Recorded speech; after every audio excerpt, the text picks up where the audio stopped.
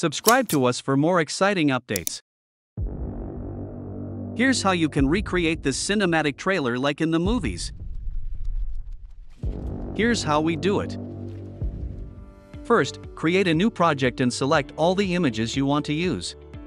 Once you have your images imported, tap on the trim icon and lower the duration to 1.2 seconds.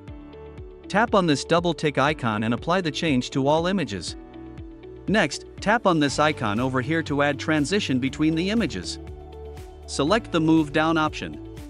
Similarly, tap on this double tick icon and apply changes to all layers. Tap on Save to export it as a video file.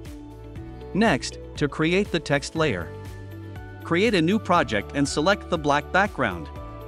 Tap on text and type in your header for the effect. Size up your text. Extend the duration of the entire project to about 10 seconds minimally. Tap on Save to export it as a video file. Finally, to put them all together, create a new project. Go to PIP and import the image slideshow you've created. Tap Fill to fit it to screen. To sped up the video, go to Speed and tap on the curve selection. Tap on this preset drop-down menu here and select this curve. Adjust if necessary. Next, import your text video using PIP. Tap Fill to fit it to screen, followed by Blend and select Darken. Go to the 6 second mark and tap on the keyframe icon. Move to the beginning and scale the text to the maximum. Swipe right at the functions and select the curve option for the keyframes.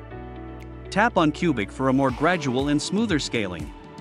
Next, using animation, select the fade in option and extend the effect duration to about 2 seconds.